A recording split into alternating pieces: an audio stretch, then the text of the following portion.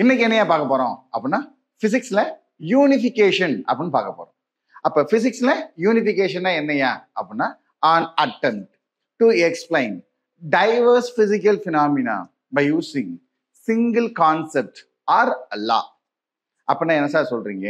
அப்படின்னா சிங்கிள் லா அப்படின்னா சப்போஸ் நமக்கு தெரியும் universal law of gravitation so F equal to G M one M two by R square So by using simple law, we can explain what is force.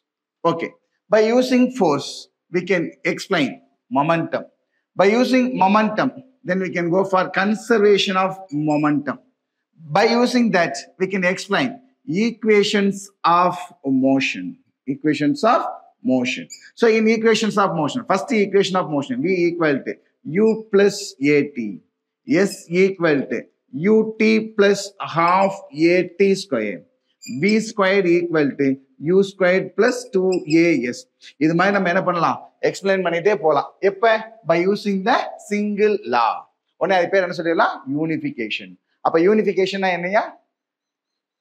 An attempt to explain diverse physical phenomena by using simple concept or a single law okay